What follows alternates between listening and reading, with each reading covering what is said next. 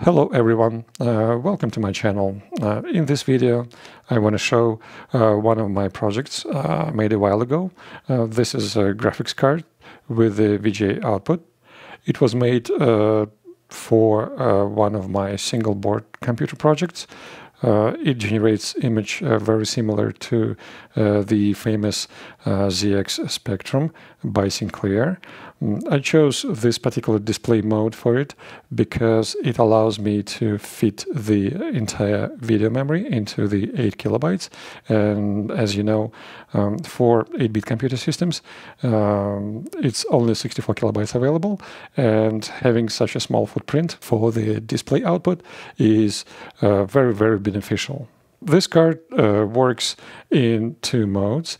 It can work in a standalone mode by displaying a static image uh, from uh, this 8 kilobyte EEPROM chip, or you can remove it and connect via this bus to the memory of your single board computer. Uh, you're prototyping on a breadboard or something like that.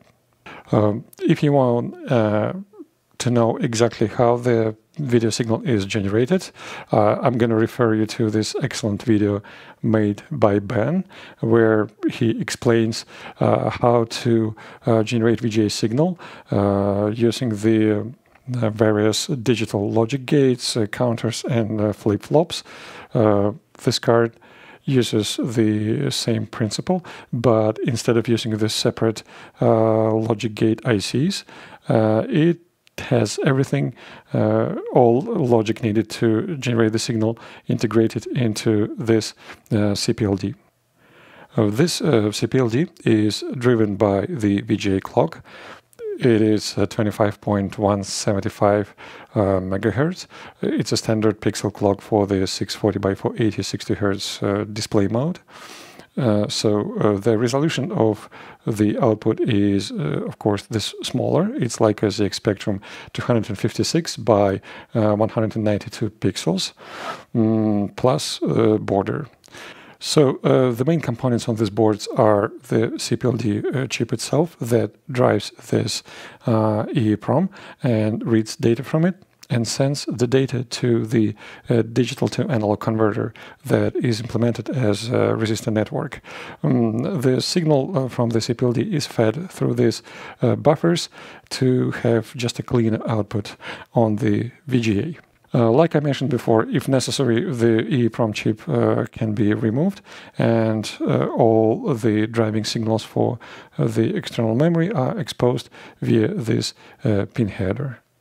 This board also has a JTAG programming uh, header if, uh, for example, you need to um, slightly modify the digital logic on the CPLD, or if you want to implement a totally different mode. For example, uh, you can replace uh, 8 kilobyte EEPROM chip uh, with a 32 kilobyte one um, and uh, change the program to generate 16 color uh, picture without any attributes, without where each pixel will have its own color. Uh, this is also possible. This board is very simple to assemble. Uh, all components are through-hole. It's a two-layer board. Um, the SMD component CPLD is mounted using this through-hole PLCC uh, socket.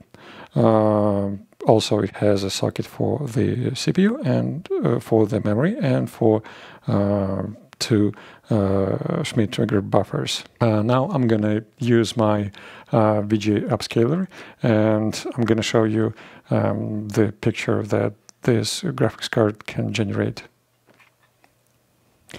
Uh, okay, uh, everything is connected and uh, you can see on your screen the first level from um, Lode Runner game on ZX Spectrum, uh, basically what I did is I used the screenshot from uh, this game on ZX Spectrum and just duplicated it in GIMP, uh, drawing pixel by pixel, mm, converted it to binary format, and uploaded to the um, this EEPROM chip image uh, you can is actually very crisp if you connect it to the CRT or um, older LCD panel with the VGA input.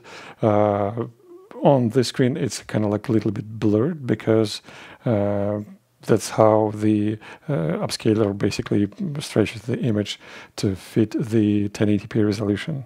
If you're curious about how this graphics card can be used, uh, this is uh, the, my single board computer, mm, which has this card integrated into it. As you can see, this is a placeholder for the uh, CPLD, for the graphics memory, uh, buffers, and resistor-based uh, digital audio converter with VGA output. Um, in uh, next videos, I'm gonna uh, show you actually how this uh, computer works, and I'm gonna show you one of my prototype games I made for it when it's gonna be assembled and running. I hope this little project of mine was interesting for you. Uh, if you want to see more videos about uh, building 8-bit or 16-bit uh, retro computers, uh, please uh, subscribe to my channel, uh, hit the bell icon so you won't miss anything. Um, see ya. Bye-bye.